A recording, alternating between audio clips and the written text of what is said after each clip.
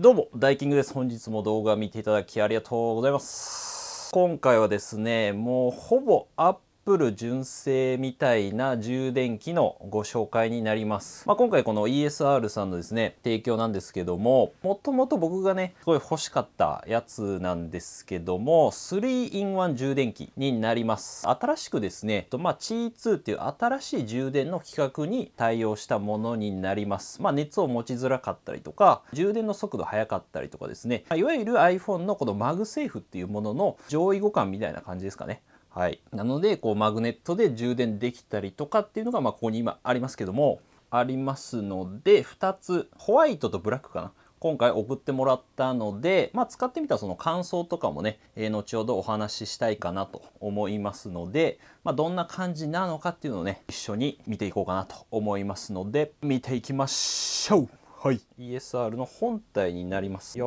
めっちゃシンプルじゃないですか正直ねなんでここが充電 15W の充電をするところですねこれ iPhone 充電できますまあ ESR って書いてるだけであのめっちゃシンプルだと思います正直でこの下側がですね、えっと、AirPods かなを充電する。で、ここも磁石になってるので、カチッてくっつきます。はい。で、充電してると、ここは、えっと、インジケーターがね、ついてますので、光ったり、消えたりしますかね。はい。で、後ろ側はもうほんと USB-C だけかな。はい、で地味にここアルミ素材になってるのでなんかねかっこいいんですよね。アップル感がすごい、はい、で後ろは G2 とかねちゃんとこういうマークついてたりとかこれ滑り止めがね下ついてるので結構しっかりとですねあの固定されるし安定感あります。はい。で後ほど見ますけどブラックでねあのこのケーブルと充電器も全部ついてます。なので、まあ、やることはケーブルと充電器これまあ下ついてるんですけど挿してもらうと。ぶっちゃけねこれだけなんだよね。めっちゃ楽です正直。実際つけてみようかな。ヒントが合っていない。はい。あそうだ。でつけるだけなんですけどでここの上ここがえっ、と Apple Watch のね充電器になってます。ここでまあ、充電なりですね。でしかもこれ取り外すことができます。よいしょと。はい。でここ USB-C ですかね。うんここに挿す感じで USB-C になってましてこれめっちゃシンプルでしょ？裏はあ、まあ、一応マークは書いてあるかな。これねここ磁石になってましてなんでこのままカチッと、えー、こうなるんですよ。はい。くっつきます。でこれで持ち歩くみたいなこともできる。で家に帰ってきたらでここくっつくんですよここに。はい。で若干ここの磁力が僕は弱いかなって思った。まあただ割とちゃんとくっつきます。はい磁力ね。で家に帰ってきたらこう何ていうかここに挿して使えるこれ結構ねこの機構があのそう結構取れちゃうんだねこれね面白いかなと思いますはいでただここのね角度調節は残念ながらできない仕様になっております。はい。まあ、あと後ほどね、ちゃんと話しますけど、ちょっとつけてみようかな。iPhone、こちらと15 Pro なんですけども、こんな感じかね。よいしょと。はい。しっかりあの充電のね、えー、マークはつきますね。角度的にはこう斜め45度ぐらいかなっていう感じになりますね。うん、で結構磁力は強いですね。強すぎず弱すぎず、うん、結構強いかも。でもパチって結構、えーと、横向きにするとなのでスタンバイモードになりますね。これはねめっちゃいいんだよね。すごい角度的にもちょうどいいです。なので、まあ、縦向きにして、ま、ブラウジングがですねかなりやりやすい。このぐらいの角度でできるのでちょうどいいんだよねなんかね,、まあ、ねこんなイメージ的には。角度でできて動画がねやっぱ見やすいっすよね。動画がねやっぱこう横にして見れるんですごいあの見やすいというか充電しながらすごい使いやすいかなと思います。この角度がね。はい。まあ、そんな感じでこれはいいとして、まあ、スタンバイモードで使いつつ映えるよね。かなりね。映えると思うんですけど使いつつ AirPods まず下でここえー、充電できますね。チーンって。でインジケーターが、えー、光ります。光りますんでで地味にここねくっつきます。磁力があるんでこれがねいいかな。位置をねそんな探さなくていいんでめっちゃいいですね、まあ、これ結構僕は気に入っております。こう、ね、充電ね。AirPods が充電。できます。カチッとね。こちらでなんでえっ、ー、と Apple Watch ですね。はい。じゃあもう 5W かな充電ができるので。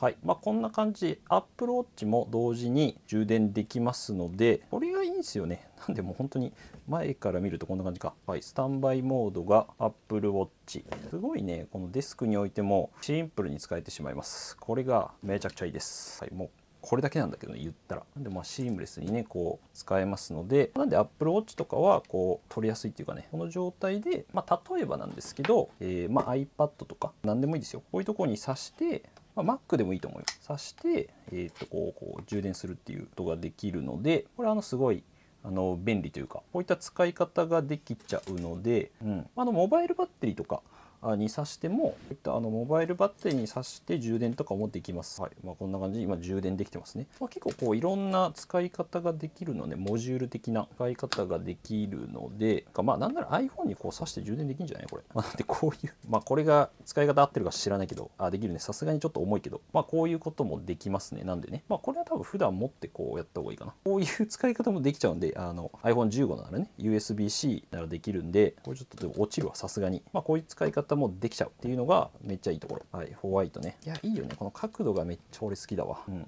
この感じで。デスクにねこう。はい。でちょっとあのブラックね開けようかなと思います。よいしょと。はい。ということであのねちょっとうまく取れてなくてブラック開けちゃったんですけど質感はこんな感じでございます。いやブラックは救急車。あのブラックはブラックでねすごい質感いいんですよね。でここのここがブラックでメタリックっぽくなってます。はい。基本的な構造はなんでさっきと一緒かな？で、えー、このウォッチの部分もねすごいブラック。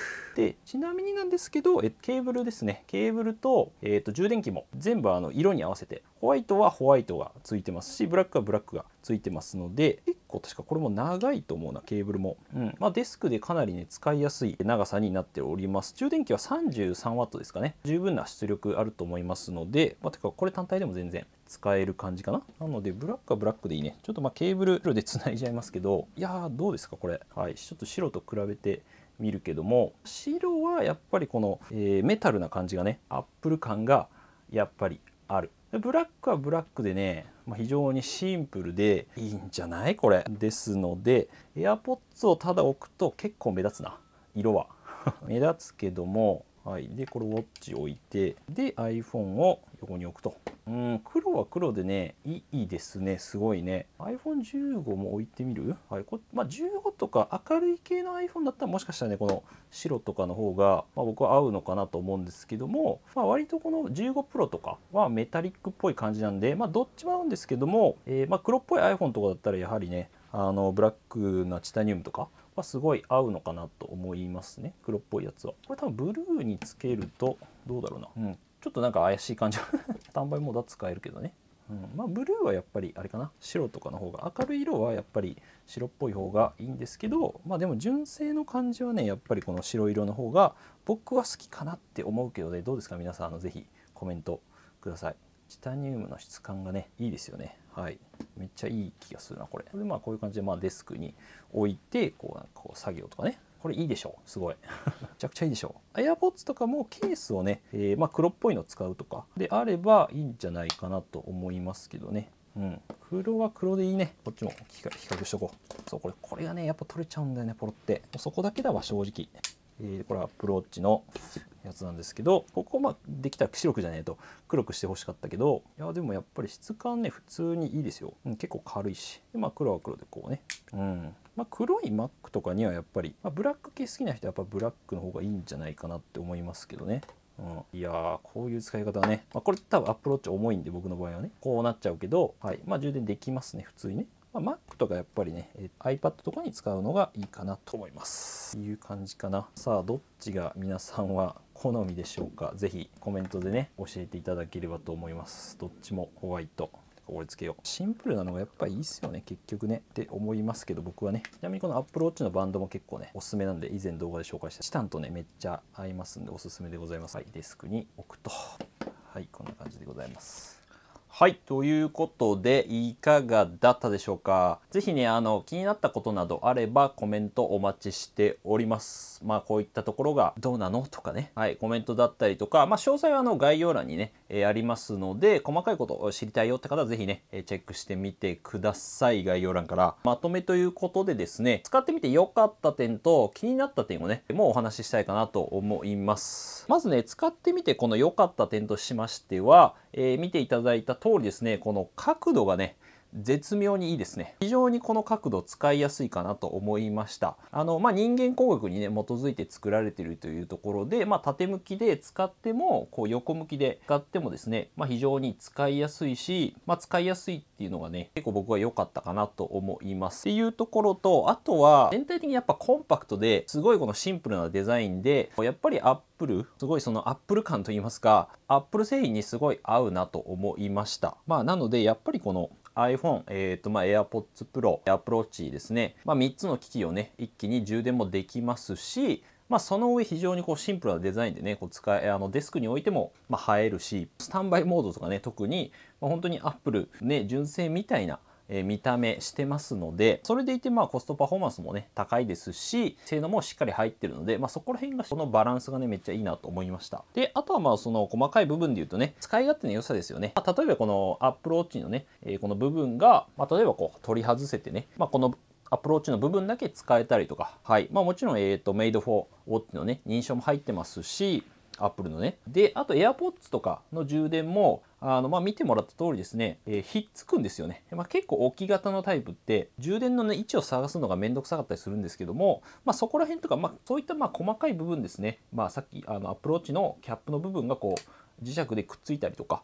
はい。まあ、そういったところもよくこだわられてるなと思いました。っていうあたりが結構良かった点かなと思うんですけれども、はい、で逆にこの気になった点ですね、まあ、もちろんこれもあります。気になった点で言うと、まあ、まず、えっと、角度はねすごいいいんですけど角度調節がもうちょっとできたらよかったなと思いました。角度調節はできない仕様にはなってるのでこれが若干下にこう例えば下げれるとかたらすごい面白いかなと思いましたね。まあただ逆に固定が使いやすいっていう部分もあるかもしれないです。もう少しね角度つけられたら僕は良かったかなと思いました。あのビデオ通話とかの時ね。あとはまあたまになんですけどこうアプローチをこう上にね、えー、例えばこう乗せる時にキャップに当たってこう取れちゃうっていう時がねまあ僕何回かありましたね。そんなにないんですけどこう充電してて置く時というか取る時かな。こういう時に引っかかってこのキャップのところにね充電した状態で若干ここのね磁力が妙に弱めの時があってこういく時に引っかかってポロッと落ちる時があったんですよね。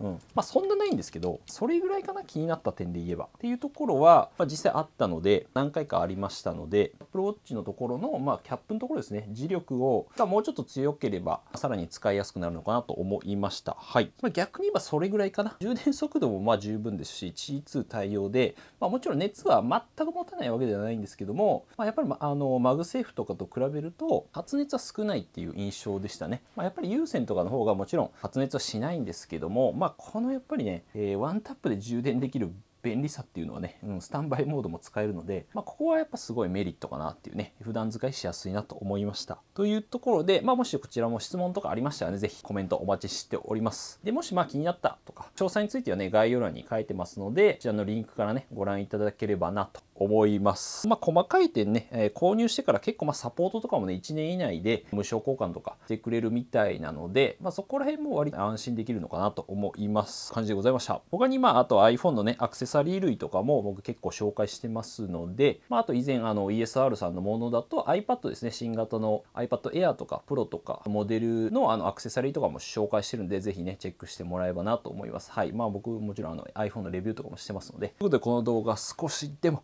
役に立ったなと思ったなって方ぜひちゃん高評価お願いいたしますまたこういった動画見たいなって方ぜひチャンネル登録をねしてもらえると非常にありがたいです本当にお願いします。はい。ということで、また次回の動画でお会いしましょう。良い一日お過ごしください。じゃあ、またねあの、ということですね。結構いいです。